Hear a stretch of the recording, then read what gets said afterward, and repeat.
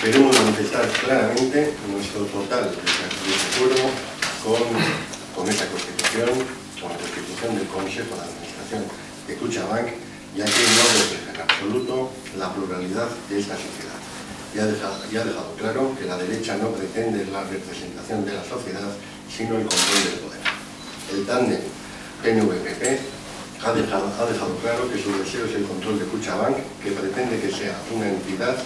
controlada solamente por él. El nuevo ente debería ser un reflejo de la sociedad y es vergonzoso que no se tengan en consideración a los dos organismos fundadores de, de Guipúzcoa en Cucha, la Diputación Foral de Guipúzcoa y el Ayuntamiento de Donostia. En opinión de Bildu, esa es una postura intolerable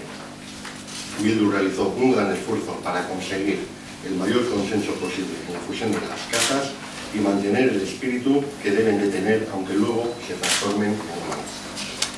En la constitución de Cuchabank han querido destruir, destruir todo ese esfuerzo porque, según algunos, el control es más importante que cualquier intento de consenso. Pero que estén seguros de que si mantienen esa postura tendrán enfrente a mí. Con respecto a eso, debemos recordar que Bildu ha planteado desde el principio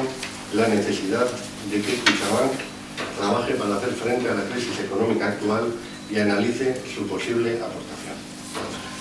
Por tanto, Bildu ha propuesto al resto de partidos y a los representantes de las cajas un debate sobre las líneas generales, pero nadie ha prestado atención a nuestras peticiones. Por consiguiente, como en el nuevo concepto de Cuchabank no se ha producido un debate sobre las líneas generales y como no existe un sitio para la representación real de la sociedad, Bildu y los dos organismos fundadores mencionados quieren hacer una petición clara al Consejo de Administración recién creado para que éste no adopte ningún acuerdo de calado mientras no se cumplan esas dos condiciones. Eso sería lo más justo y lo demás sería una consecuencia del ansia de poder y de control del PNVPP y de hacer un a la sociedad, a la sociedad básica. Por otra parte, también ha sido una sorpresa el acudir hoy al Consejo de, Cucha y en el mismo Consejo tener eh, la noticia de que el primer punto a tratar es una innovación del contrato de integración. Algo que, desconocíamos y que por esa innovación se bajan los consejeros de Cuchabank de 20 a 15 nosotros la, la innovación al contrato de integración tenemos que ver si jurídicamente, eh, si, realmente es legal, según nos han dicho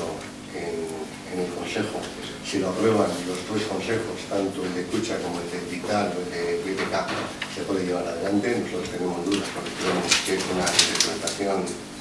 interesada, pero que la sorpresa también no solo es el que baje el número de consejeros, sin que lo sepan los miembros del mismo consejo, escucha,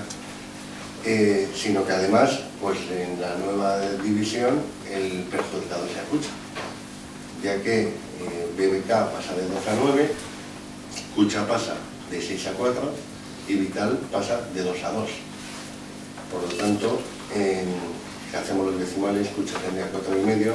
Vital 1,5. Vital al final se queda con dos consejeros, tanto con 20 como con 15. Por lo tanto, creemos que pues el pacto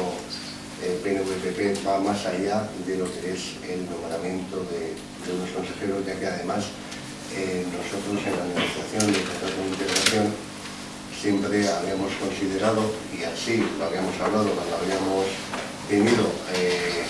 alguna aportación respecto a los diferentes textos de las cajas que deberían, deberían ser tratados en las diferentes asambleas y no porque los consejos eh, aprueben un, cambio sea suficiente para cambiar lo que es el número y la procedencia de los consejeros de Cuchabanca. Y si podéis más, preguntas, nos sorprendemos también que en el Consejo de Escucha se pueda aprobar algo que va contra los mismos y que, que va contra los intereses de escucha.